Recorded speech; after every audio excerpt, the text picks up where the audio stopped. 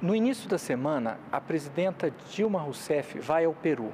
O Peru é um importante vizinho brasileiro, país do Pacífico, e a presidenta vai lá para poder estabelecer com o Peru novas bases da relação.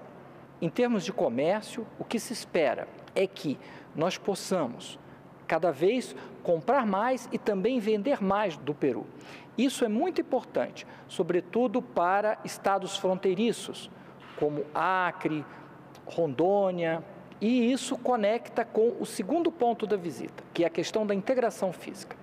Hoje já há uma estrada que sai do Brasil e vai até o Pacífico, atravessando o Peru. A movimentação dessa estrada, a complementação das regras para o funcionamento dessa estrada e o estabelecimento de condições para que de fato o comércio possa fluir é outro ponto importante que será discutido. Finalmente, o Brasil vai colocar à disposição do Peru toda uma série de programas na área social para que experiências bem-sucedidas aqui também possam ser reproduzidas lá e que para o que o Brasil também possa aprender um pouco da experiência peruana nessa área. Em ano 2003 firmáramos uma aliança estratégica a nível presidencial.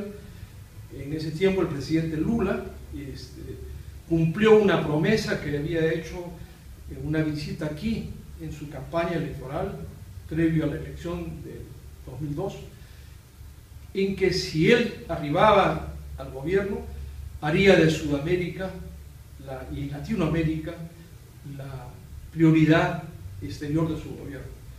Y creo que en la experiencia Brasil-Perú, esa promesa se cumplió.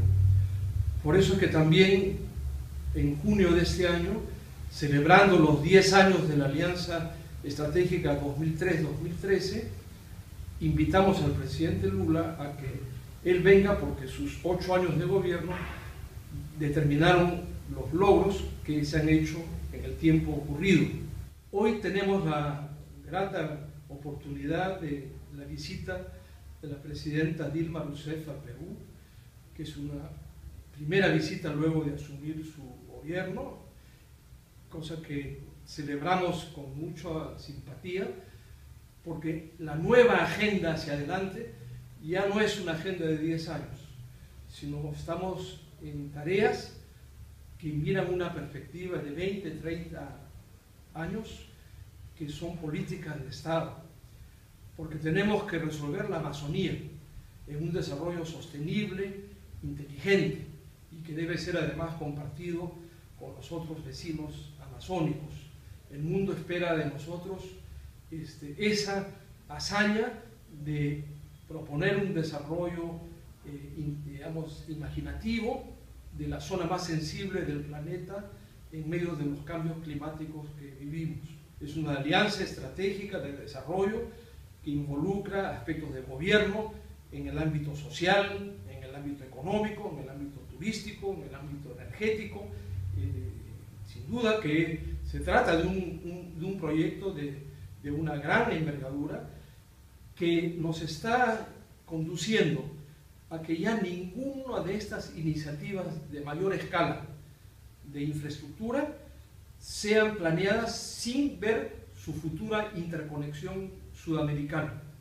O sea que nosotros ya hoy día los proyectos de rodovías o los proyectos energéticos tienen que estar diseñados de modo que en un futuro tendrán que interconectarse con Brasil, con Colombia, con Ecuador, con Chile, con Bolivia, con Venezuela.